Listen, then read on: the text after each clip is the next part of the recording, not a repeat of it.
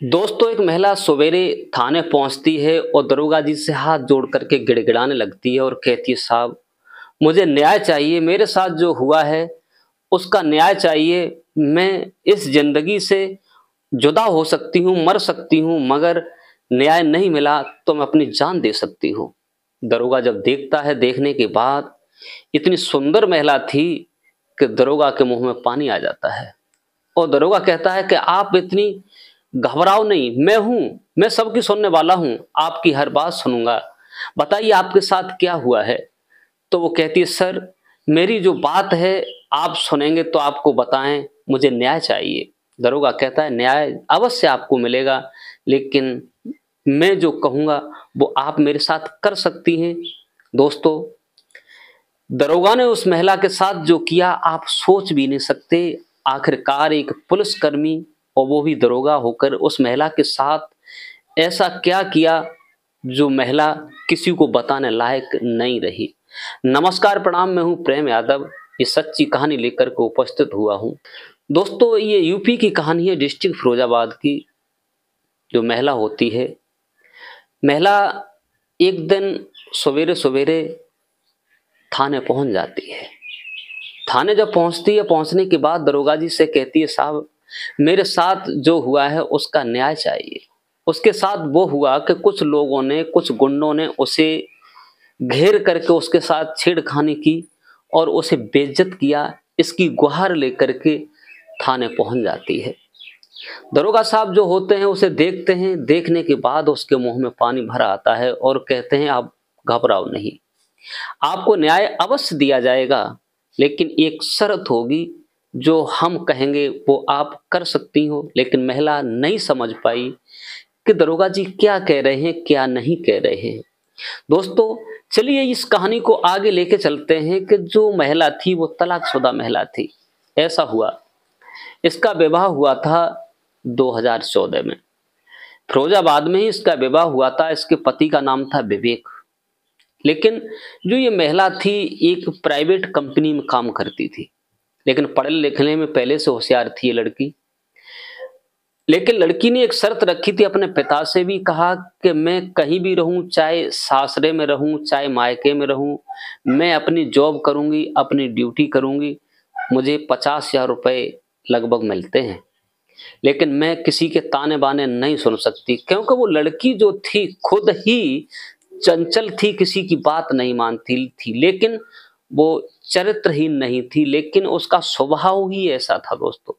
उसका विवाह विवेक के साथ हो जाता है और ये ससुराल आ जाती है। ससुराल आती है, आने के बाद जो काम वहाँ करती थी, वही कंपनी थी, वही ब्रांच थी तो वहाँ उसे फिरोजाबाद में ही नौकरी मिल जाती है। फिरोजाबाद में नौकरी मिलने के बाद, लेकिन उसे ये नहीं मालूम था कि या मैं ससुराल में हूँ या मायके में हूँ। वो तो मायके जैसा वर्ताव किया करती थी। दोस्तों माय के जैसा बर्ताव किया करती थी, पति ने एक दो बार समझाया, कहा कि आप इतनी लेट उठती हो और आकर के आखिरकार घर में नौकरानी खाना बनाती है, फिर भी बहुत सारे काम होते हैं। आप उठती हो, टिपल लगाती हो, सीधी निकल जाती हो, ये तुम्हारा कौन सा हिसाब है?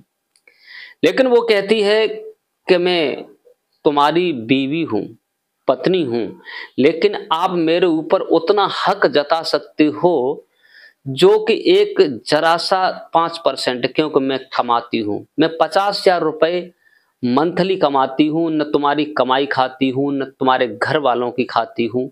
मैं किसी की कमाई नहीं खाती।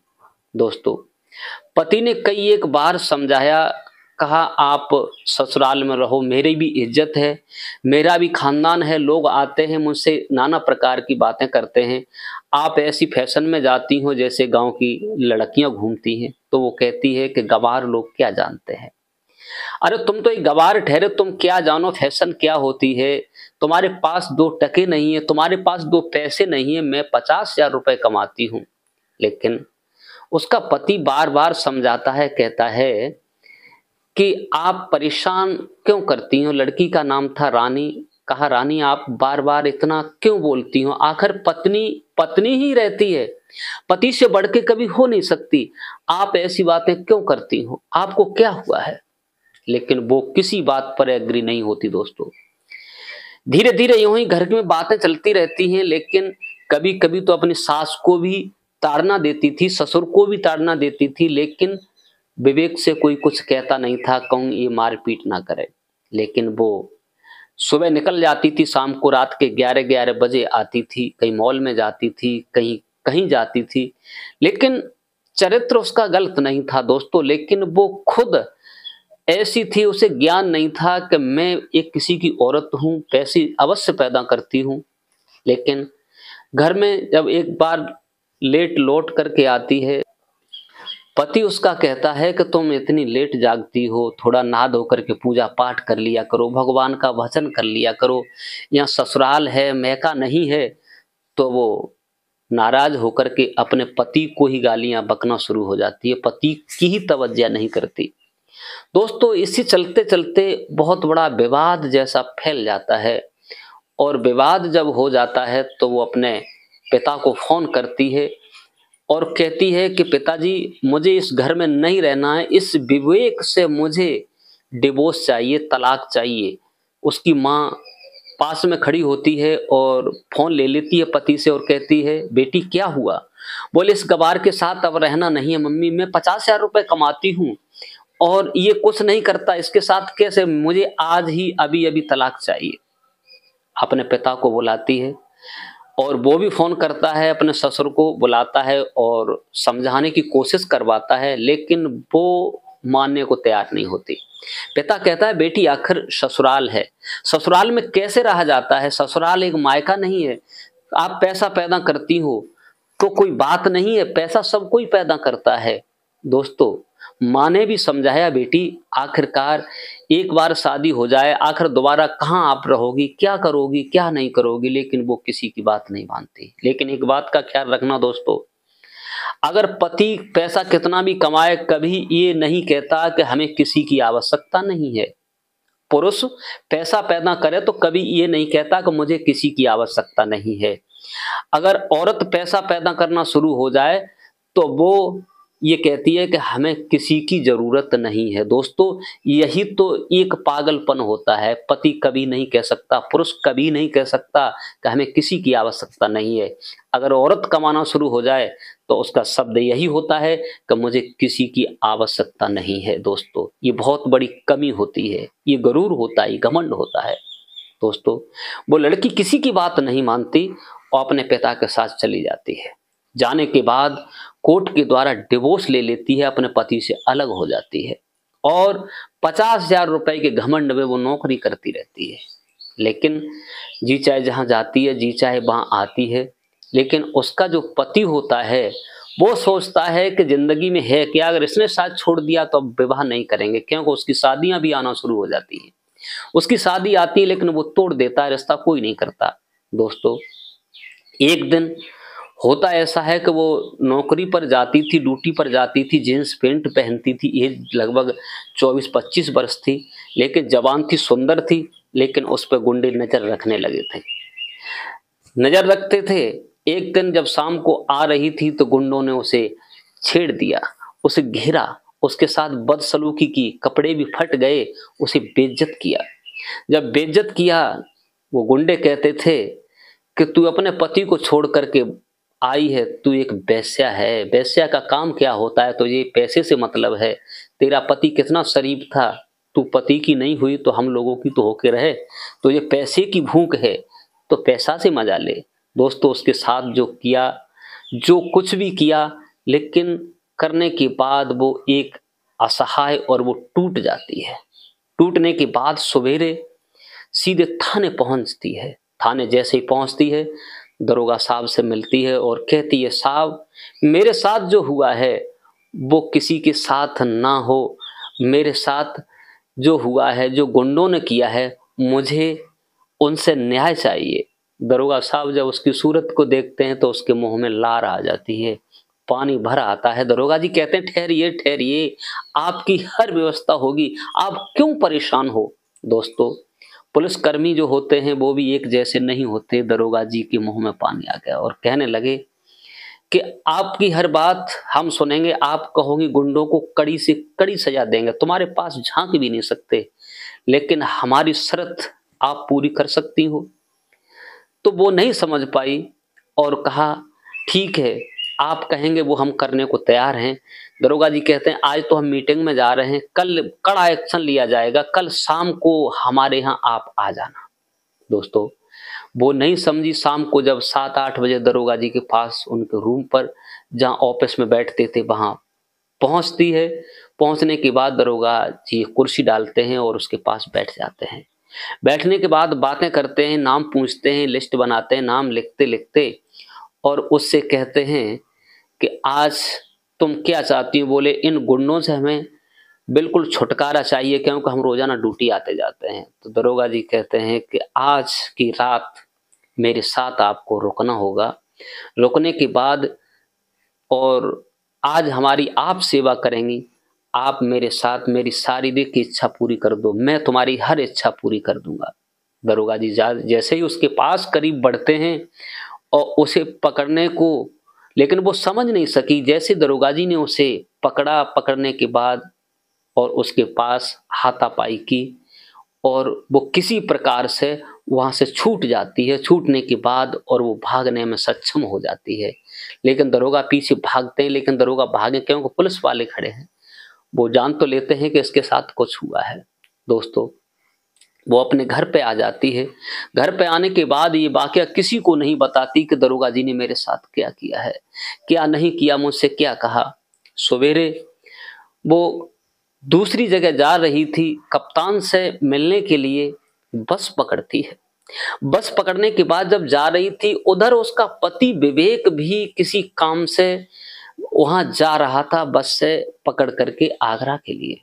दोस्तों लेकिन सीट पे पहले विवेक बैठा हुआ था और जैसे फिरोजाबाद से वो बस में चढ़ती है तो सारी सीटें क्लोज थी, केवल वही सीट खाली थी।